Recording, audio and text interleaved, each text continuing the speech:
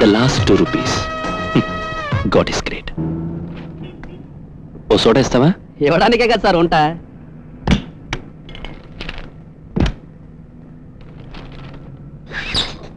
ఇదిగోండి సార్ బ్రహ్మాండమైన గ్యాస్ అండి.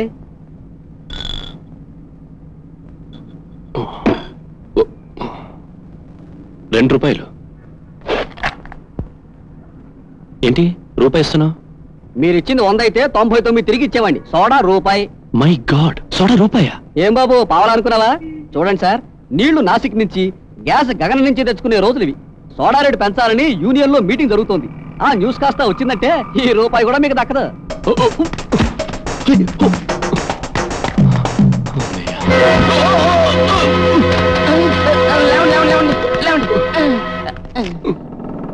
నిరుద్యోగ బాబు? అవునండి. అందుకే నా రూపాయి కోసం ప్రాణాలు తెగించావు? మీలాంటి వాళ్ళ నిర్లక్ష్యం వల్లే యాక్సిడెంట్లు జరుగుతూ ఉంటాయి. అలాంటప్పుడు మాలాంటి వాళ్ళని తీసుకెళ్ళి జైల్లో పడేస్తారు. ఊహల్లో తేలిపోతూ రోడ్లలో నడిస్తే ఉద్యోగాలు వస్తాయా? కాళ్ళు చేతులు ఓడతాయి కానీ కాస్త ఒళ్ళు దగ్గర పెట్టుకుని నడవడం నేర్చుకోవయా? రాము ఏమిటా మాటలు? చూసావా? దెబ్బ నుంచి రక్తం ఎలా కడుతుందా? ప్లీజ్ రండి హాస్పిటల్కి వెళ్దాం. ఇంత చిన్న దెబ్బకి హాస్పిటల్కి ఎందుకండి? ఇది చిన్న దెబ్బ. చూడండి మేడం మీలాంటి డబ్బున్న వాళ్ళకి ఇది చాలా పెద్ద దెబ్బ. నాలాంటి సామాన్యుడికి ఇది చాలా చిన్న దెబ్బ. కనీసం ఈ యాక్సిడెంట్లో ఏ కాలు చేయపోయి ఉంటే చాలా హ్యాపీగా ఫీల్ అయ్యేవాడిని. ఎందుకు? అట్లీస్ట్ వికలాంగుల రిజర్వేషన్లో ఓ చిన్న ఉద్యోగం అయినా వచ్చేది. వాట్?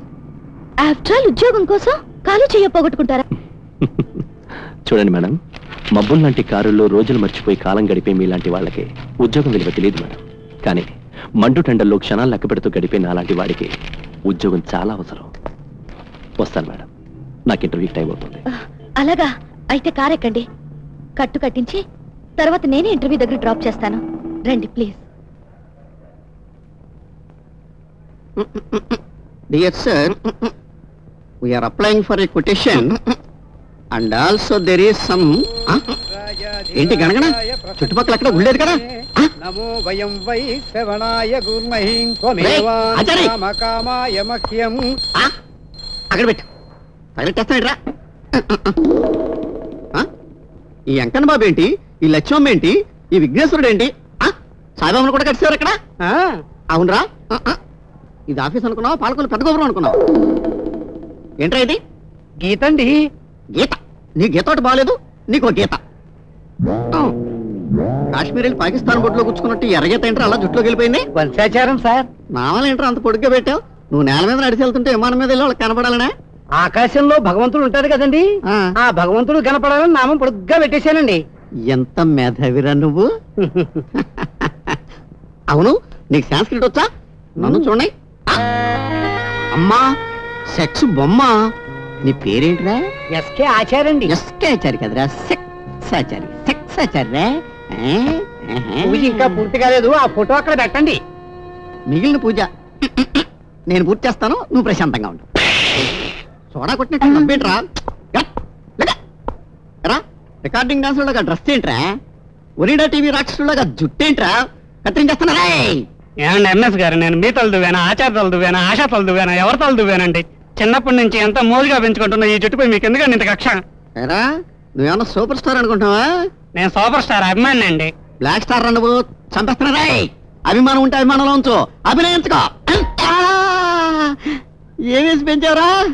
ఉప్పుడు పిండేసి పెంచారండి ఉప్పుడు పిండ? ప్రపంచంలో ఉప్పుడు పిండి దొరకకుండా చేస్తానరా నీకు? జాగ్రత్త. చిలకలాటలలో టకటక టైపులలో ఏమి టైపులే హల? ఆహా ఏమి టైపులే ఏంటి బేబీ? టైప్ చేస్తున్నావా? పాటలు కచేరీ చేస్తున్నావా? మృదంగ లాంటి టైప్ మిషన్ చప్పుడుకి మై మర్చిపోయి అలాగా? నువ్వు మైమరచిపోతే ఇక్కడ అందరికీ మొదలు పోతాయి కానీ అక్షరాలు కనపడుతున్నాయి. పేపర్ సర్దుకో. ఆ పేపర్ కాదు ఈ పేపర్.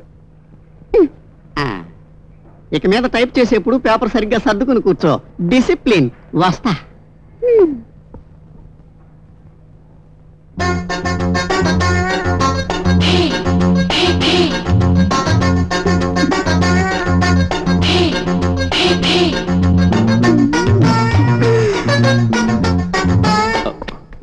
ఏంట్రా? అంత సీరియస్గా వస్తున్నావు? అవును? లోపల ఏ టాపిక్ గురించి అడుగుతున్నారు? పెళ్ళి గురించి పేరెంటాల గురించి. అయినా ఉద్యోగానికి పెళ్ళి సంబంధానికి సంబంధం ఏంట్రా? చీచి ఇంటర్వ్యూలో అడిగే ప్రశ్నకి హద్దు పద్దు లేకుండా పోయింది. డామిట్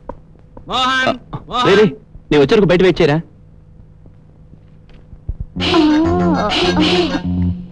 నమస్కారం సార్. నమస్కారం. ఆ వెళ్ళే క్యాండిడేట్ నేను అడిగా ఇంటర్వ్యూలో ఏ టాపిక్ గురించి అడుగుతున్నారని? ఏం చెప్పాడు? పెళ్ళిళ్ళ గురించి పేరెంటాల గురించి అడుగుతున్నారు.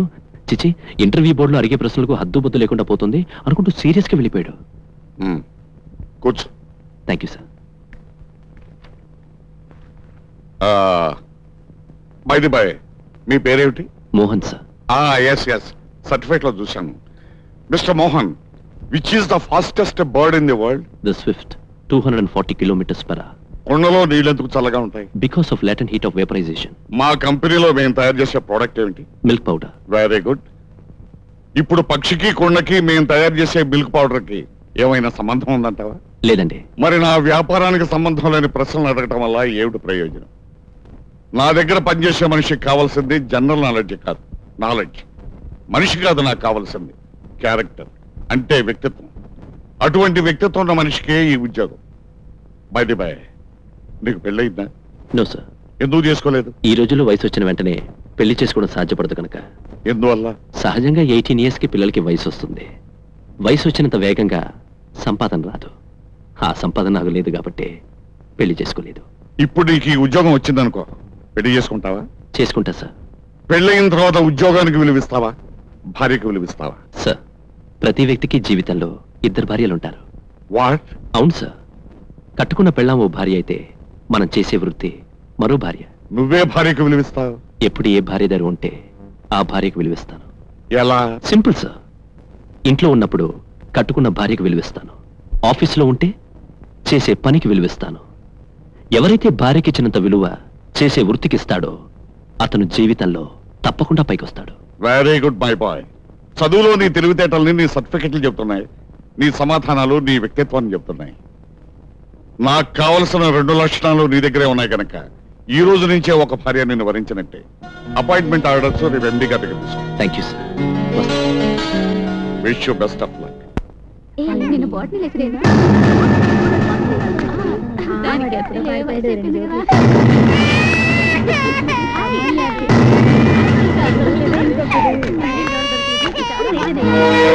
నమస్తే సిస్టర్స్.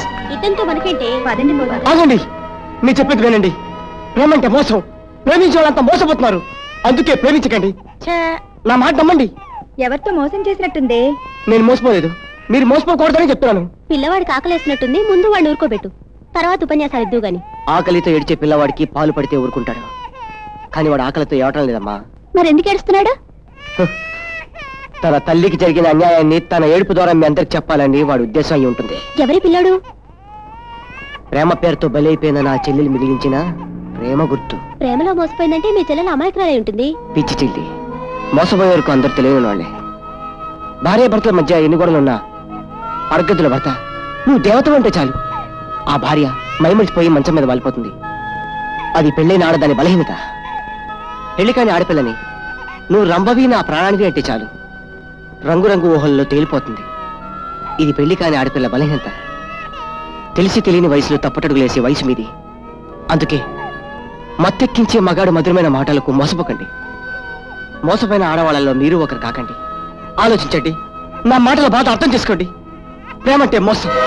ప్రేమంటే మోసం. Lies love is cheating love is cheating ప్రేమంటే మోసం.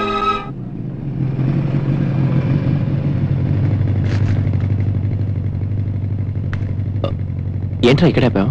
జస్ట్ డ్రింక్ తాగెళ్దాను రా. నేను బండి అక్కడ పార్క్ చేసి వస్తాను. నువ్వు లోపలికి వెళ్ళు. హలో మేడం వెరీ లక్కీ ఏ? ఎందుకు? మళ్ళీ మీరు కనిపిస్తారనుకోలేదు. కనిపించానుగా? కారణం చెప్పండి.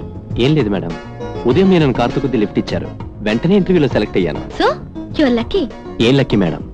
సంతకం లేని సర్టిఫికెట్లు అయింది నా ఉద్యోగం. ఇంతకీ ఏం జరిగింది? కంపెనీ ప్రొపరేటర్ గారు నన్ను ఇంటర్వ్యూలో సెలెక్ట్ చేశారండి.